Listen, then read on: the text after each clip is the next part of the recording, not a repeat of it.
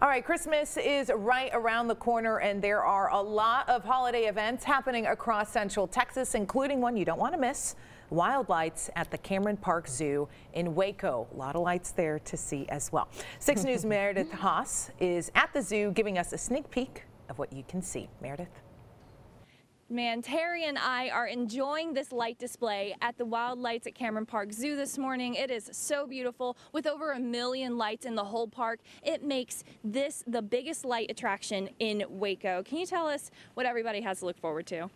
Well, they have so much to look forward to, but most of all, it's the lights themselves. You know, you can come to the zoo during the day and see all the wonderful animals, and it's a magical place then. But when you come here at night, there's just something very, very special about it. And to me, uh, it's just something everybody should experience. And what about those animals? Where are they? Well, all our animals are tucked in their beds with uh, visions of hay bale and meat in their heads, but we sometimes give them Christmas lights in their night houses to give them a little enrichment, switch things up a little bit for them. But the lights and the people won't be bothering them during this event because they are in their night houses, they're asleep, they can't hear all the noise or see all the people, and they just get a nice little rest each evening. So and you, you wanted to mention how many people came here last year and how many people you're expecting here this year. Well, we had, we hosted over 26,000 people last year and netted uh, 248,000 uh, to give back to the zoo. So we're hoping to do better than that this year, and it is bigger and better than ever this year. We've added a Hanukkah display.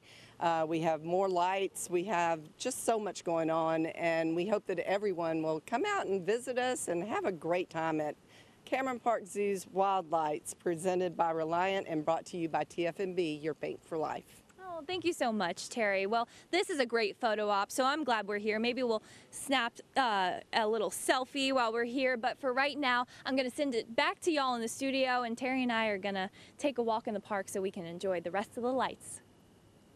Man, I need to go to Cameron Park Zoo. Mm. I haven't been, and I've lived in Central Texas yeah. for many years now. I know. I, I'm with you. I have not been either. I think I was supposed to do a story there one day, and I didn't even go inside. I was just, You're just outside. outside of Cameron Park Zoo. Well, now you have a good reason to. If